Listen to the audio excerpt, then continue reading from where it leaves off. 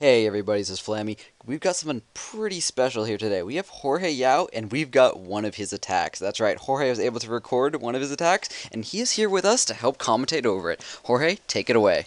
So here we have a maxed out base. We have a Archer Queen on the left and a Barb King on the right. I activated both, and because the town hall is located more towards the north, I decided to go in through the north side with two golems and three P.E.K.K.A.s waiting for the P.E.K.K.A. and Golems to take out the first layer of wall with some wizards behind them. King and Queen are going towards the P.E.K.K.A.s and the P.E.K.K.A.s are taking them out. Waiting for things to clean up a little bit before I drop on the next layer of wall breakers to get through that middle section. Once those wall breakers are in, you gotta be really careful. Make sure that everything on the left and the right side is cleaned up towards the north so that the king and queen are able to go straight through towards the town hall. You rage it. Easy town hall destroyed. Inferno's taking out a few wizards and P.E.K.K.A.s, but you got your queen and the barb still uh, close to full health. And now you just sit back and wait Do you worry about these bombs and traps and that stuff at all? Um, in the beginning, in the drop zone, you do. Uh, it, it greatly affects the the wizards, especially. Yeah, so you don't want your wall breakers and your wizards to hit them. Okay, that makes sense. But you've Correct. used your entire army at this point, really, so there's really nothing else to do other than sort of hope your units are able to take out the rest, right?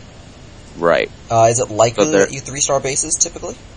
No, so it is. There is a little bit of luck involved. Um, things have to go absolutely right in certain conditions for for it to for you to get a three star. So you're so normally when people are attacking, you're just hoping to get one or two stars, right? So how rare is a three star?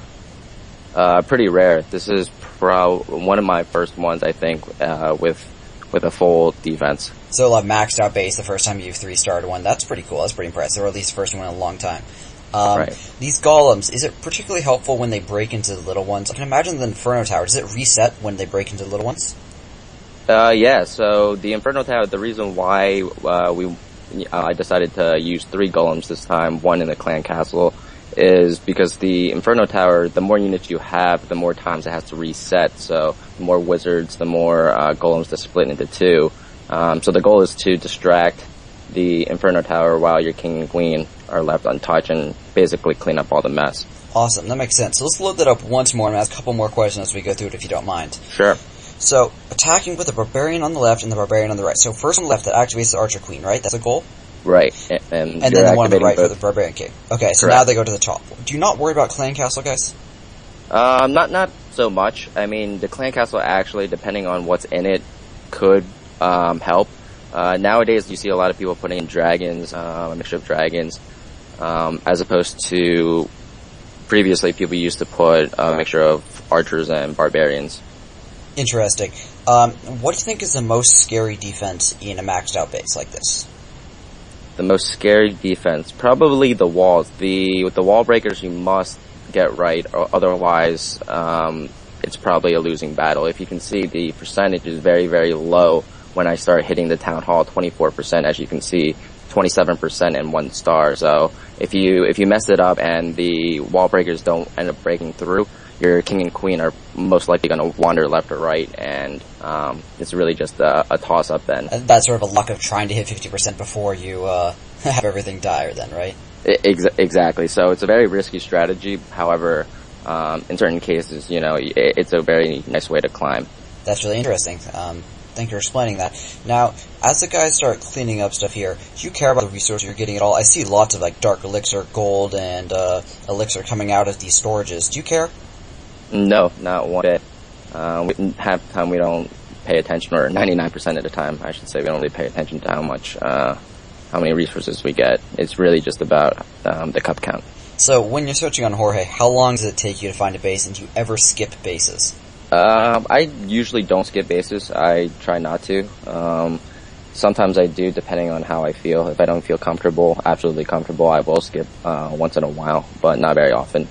Uh, it does take a while to find a match sometimes. Um, could take up to three, four hours sometimes. So, um, three, four hours to find a match. Sometimes, yeah. It's, it's, it's actually oh, gotten wow. a lot better uh, at post update with this new eight hour time limit, it, it's keeping people off. So um, there are more battles and defenses are getting stronger with the new Inferno Tower. So you are seeing more matches as than before, but um, the wait is still pretty pretty long, as expected though. Wow. All right, that's interesting. Thank you very much for sharing, and I really do appreciate it. Thank you, Jorge, for coming on here and showing one of your attacks. I know everyone has been really looking forward to seeing one of these for a long time, so thank you. I do appreciate it. And hey, everyone, show your support by liking and commenting on this video, and I certainly hope to have more. Have a great time, guys, and clash on.